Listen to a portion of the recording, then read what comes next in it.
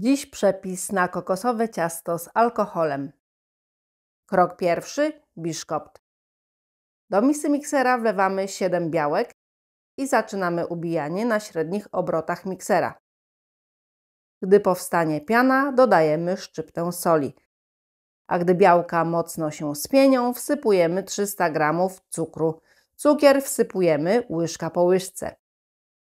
Od momentu wsypania całego cukru miksujemy 10 minut do powstania lśniącej i sztywnej piany. Następnie zmniejszamy obroty miksera do najniższych i dodajemy 7 żółtek. Dodajemy żółtka po jednym i miksujemy krótko do połączenia składników. Wyłączamy mikser i teraz będziemy mieszać ręcznie. Ja tutaj mam 230 g mąki pszennej przesianej i wsypujemy do niej 3 kopiaste łyżki budyniu śmietankowego. Mieszamy składniki z grubsza i wsypujemy w dwóch, trzech partiach do ubitych białek.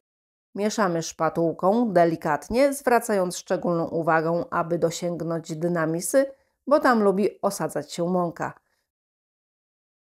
Przelewamy do foremki o wymiarach 25 na 40 cm, wyłożoną na spodzie papierem do pieczenia. Boków foremki niczym nie smarujemy. Wyrównujemy powierzchnię i wstawiamy do nagrzanego piekarnika. Pieczemy w funkcji góra-dół na środkowej półce w 160 stopniach Celsjusza przez 30 minut. Każdy piekarnik inaczej piecze, więc trzeba to mieć na uwadze.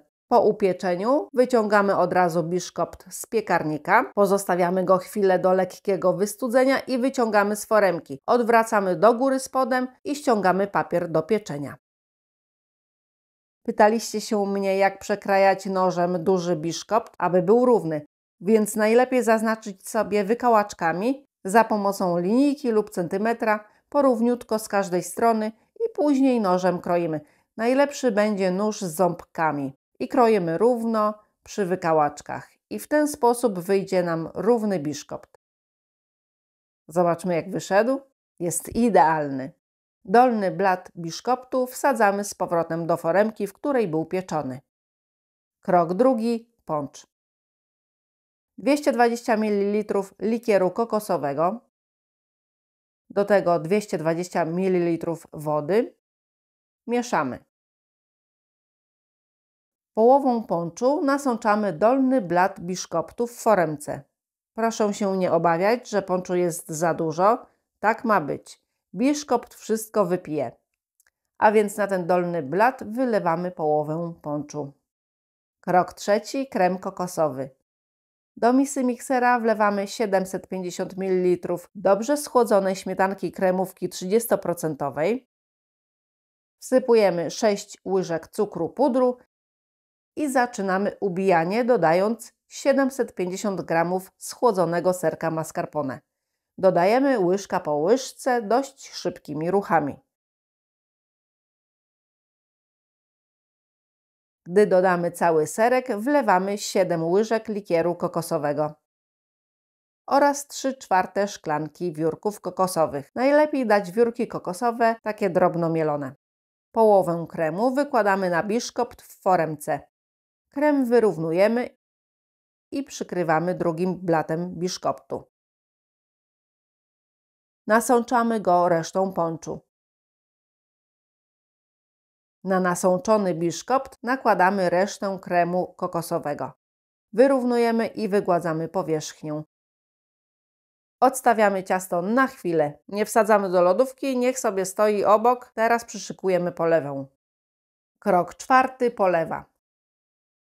W kąpieli wodnej roztapiamy 180 g czekolady deserowej.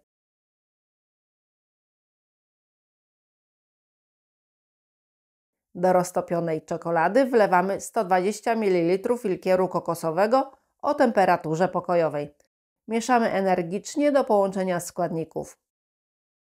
Polewę od razu wylewamy na ciasto w foremce. Polewa będzie dość gęsta, więc radzę to robić dość szybkimi ruchami. Od razu też posypujemy wiórkami kokosowymi. Wstawiamy ciasto do lodówki, najlepiej na całą noc.